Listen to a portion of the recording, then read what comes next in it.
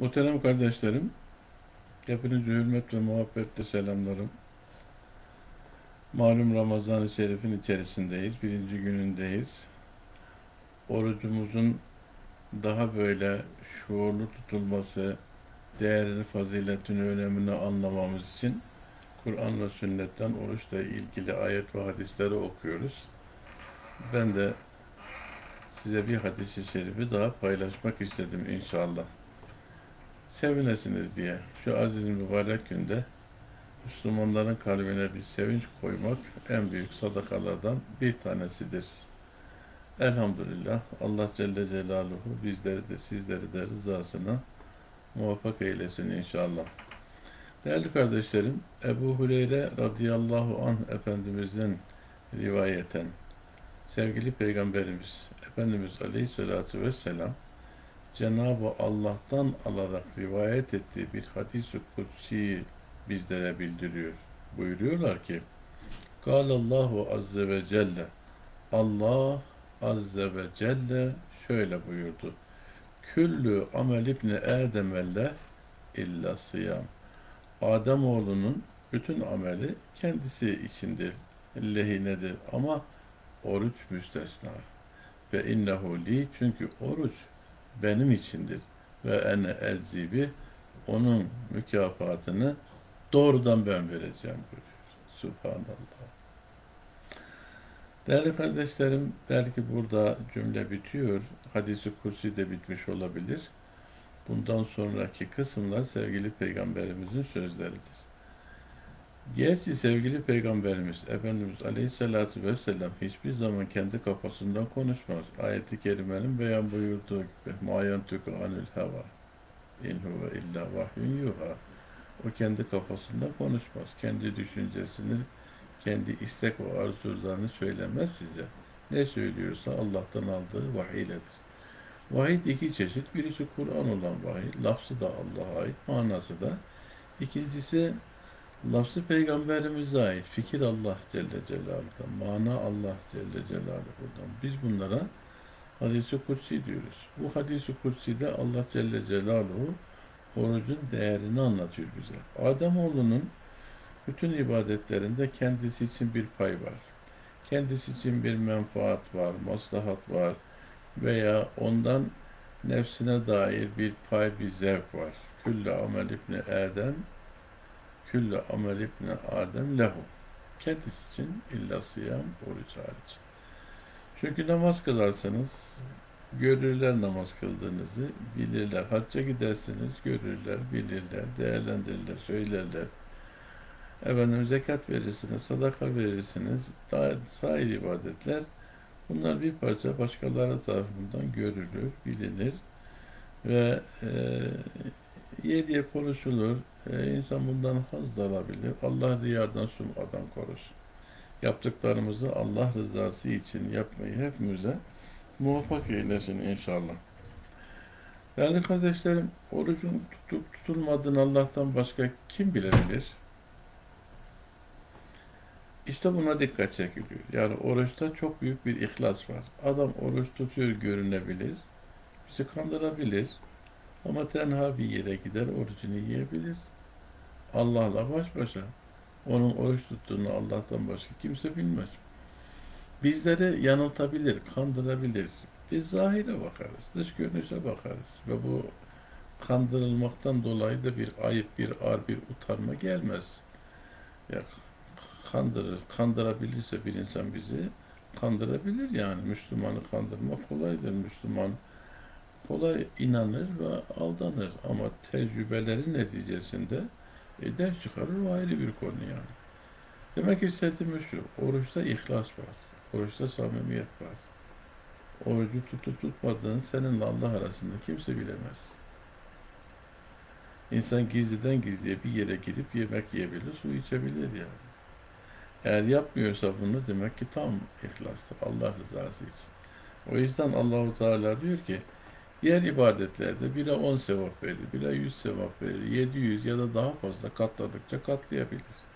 Fakat oruca gelince, orucun mükafatını doğrudan doğruya ben vereceğim. Yani belki melekler şu kadar sevap kazandı diye de yazamayacaklar. Oruç tuttu diye yazacaklar defterine. Ve Allah Celle Celaluhu inşallah terazide ameller tartılırken gürpede orucun sevabını koyuverince oruç tutan Müslümanın gözü poltası gibi açılacak ve Allah diyecek yani.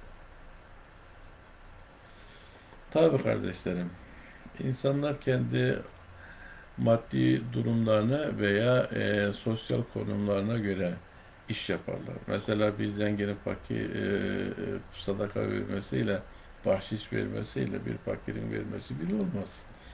Yani bir memleketinin e, padişahının, kralının, cumhurbaşkanının, halifesinin, emirül mümininin bir insana iyilik yapması ile efendim e, sıradan bir vatandaşın yapmasının arasında fark var. Herkes kendisine yakışana göre yapar. Allah Celle Celaluhu ben vereceğim dediği zaman orada çok beklentilere gireriz biz elhamdülillah ve bunu da inşallah hak ederiz. Allah oruçlarımızın karşılığında bizi ahirette çok çok çok sevindirsin inşallah. Sevgili Peygamberimiz buyuruyor ki Asıyamu cünnet. Oruç bir kalkandır.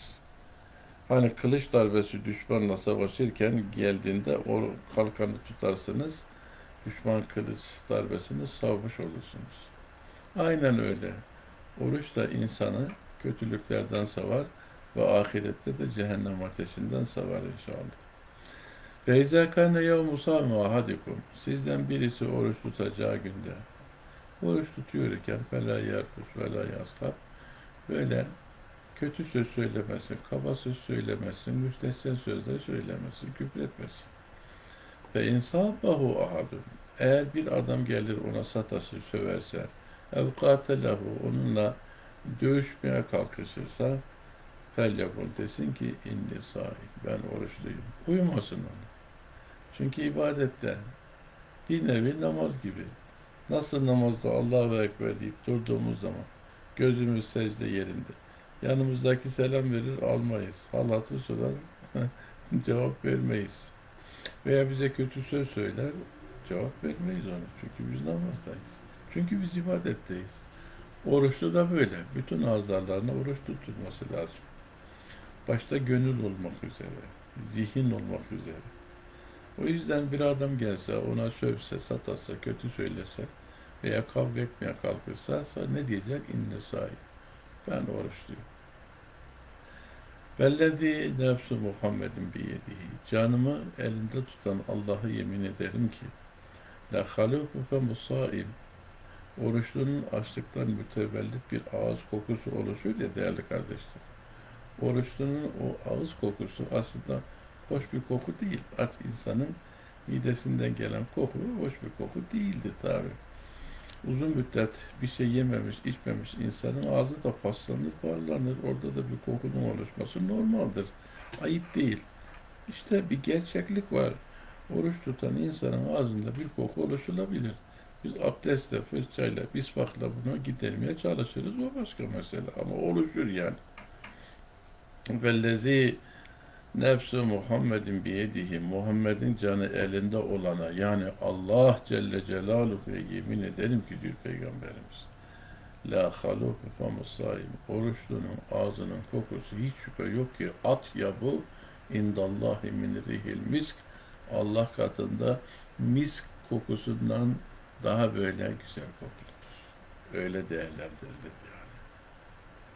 Öyle hoşuna gider Allah Celle Celaluhu. Çünkü e, Allah rızası için. Aşağıda hadis-i şerif geliyor. Yetruku ta'amahu. Bu kul yemesini Allah için terk etmiş. Ve şarabahu. içmesini Allah için terk etmiş. Ve şehvetehu. Şehvetini de öyle min ecdi. Benim yüzümden terk etti diyor Allah Celle Celaluhu. Aç olan senin insanın yemeğe ihtiyacı, içmeye ihtiyacı, şehvetli olan bir insanın helalı yanında gidermeye ihtiyacının ne kadar büyük olduğunu söylemeye gerek var mı? Ama yapmıyor. Niçin? Benim için diyor Allah Celle Celaluhu. Asiyamuli bu yüzden oruç benim içindir. Ve ene ezzibi onun mükafatını karşılığını ben veririm. Vel hasenetü bi aşri emsaliha. Yoksa Her bir iyilik onunla çarpılır. Fakat bu ne onla, ne yüzle, ne yedi yüzle, ne yedi milyonla inşallah. İnşallah aklıma geldi söyleyeyim. Lavabalık e, sayılmaz. Ağanın eli mi tutulur derler. A'dır, verir yani. Bizim vermemiz gibi vermez. A'nın vermesi gibi verir. Ya Allah verirse, Allah gibi verir. Elhamdülillah. Onun vermesi karşısında akıllar şaşkı, fikirler hayran. Bizi de inşallah oruçlarımızı kabul ederek öyle sevindirir. Bu sevince Peygamberimiz çok güzel bir örnek veriyor. Diyor ki, لِصَائِمِ ferhatan. Oruçlunun iki ferhası var, ferahı var, sevinci var. Yefrahuhuma o iki sevinçle Müslüman sevinir elhamdülillah, mutlu olur. Ne zaman? İza aftara feriha bi fıtrihi. Orucunu iftar ettiği, açtığı zaman sevinir. Yani acıkmış, susamış. Çocukları da oruç tutuyor böyle. Onlar daha çok acıkmış, susamış. Böyle e, gözleri yemeklerde filan cin gibi bakıyorlar ona. Ve o da oruç tutan çocuklarını gördükçe bir mümin olarak gözleri bayram ediyor. Aydınlık. Bir babanın, bir annenin evlatlarını ibadette görmesi kadar, taatta görmesi kadar, ahlaklı faziletli görmesi kadar onun mutluluğu ne olabilir değerli kardeşler? Bir babanın, bir annenin en büyük felaketi evladının kötü çıkması.